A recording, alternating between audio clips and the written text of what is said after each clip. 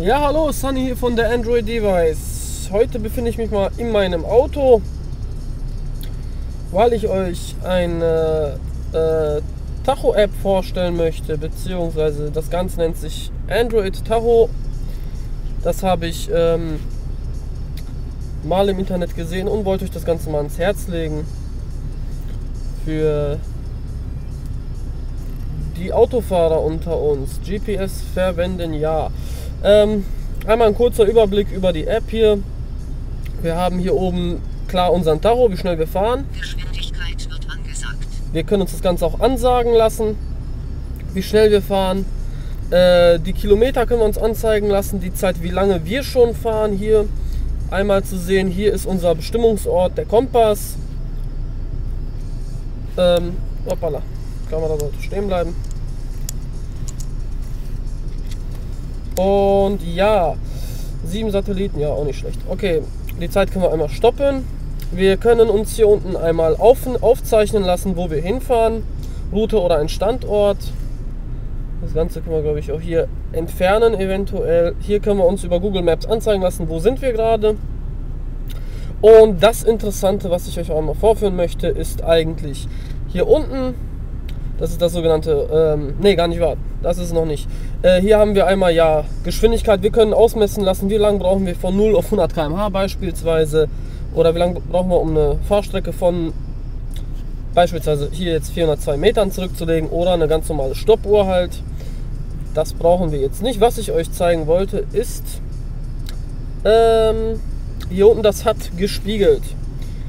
Das ähm, haben, müsste der ein oder andere kennen aus einem neueren Auto, dass die Geschwindigkeit auf dem Tacho, an, äh, auf, dem, ähm, auf der Windschutzscheibe angezeigt wird. Ich werde das Ganze gleich mal ausprobieren und dann mache ich mal eine Aufnahme zu. So, ich werde das Ganze jetzt mal so ausprobieren, ob ich so noch vernünftig fahren kann. Äh, hier rechts sehen wir das Display. Und dann wollen wir doch mal sehen, was das Ganze ups, taugt. So.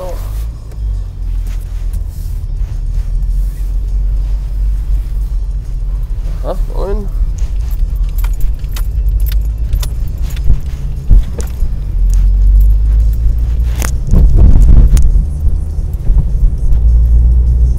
Ja, es sieht doch eigentlich schon ganz gut aus. Hier ist 30er Zone.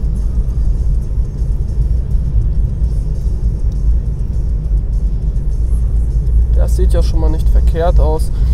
Also kann eigentlich ganz angenehm sein, vielleicht wenn man mal auf der Autobahn unterwegs ist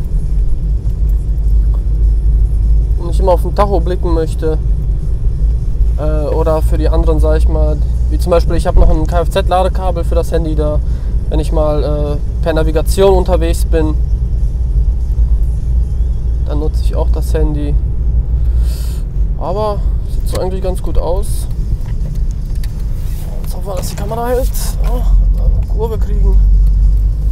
Äh, für die Leute, die sich fragen, warum das Handy so fest ist, dass äh, ich habe ja eine Handytasche und wenn man die, das Handy auf die Handytasche drauflegt, dann hält das eigentlich auch so ganz gut. Es sei denn, man flitzt jetzt mit äh, 50 Sachen um eine Kurve, dann ist klar, dass das Handy auch zur Seite fliegt.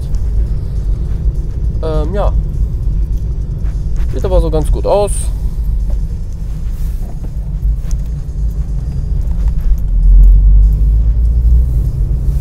Gruppe auch mit. Ja. Ist auch ziemlich genau, ehrlich gesagt. Finde ich schon mal ganz gut. Also wenn ihr mal gucken möchtet, ich man sieht, wir haben jetzt ca. 55 auf dem Tacho. Ja gut, es ist leichte Abweichung ist da. 4, 5, ja, eine leichte Abweichung ist da natürlich, dass die App ist natürlich kein, ähm, kein geeichter Tacho. Das wird jetzt wahrscheinlich der TÜV auch nicht anerkennen.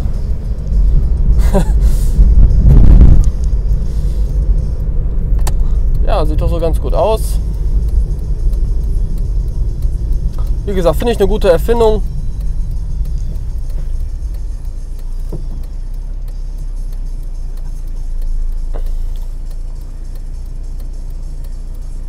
Für die Leute, die auch mal ein Head-Up-Display haben wollen. Oder natürlich auch die, der, den, Rest der Applikation, den man sich ansehen kann.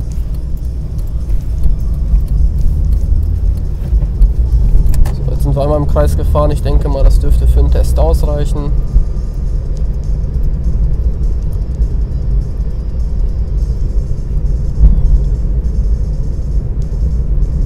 Muss gerade noch irgendwo versuchen anzuhalten.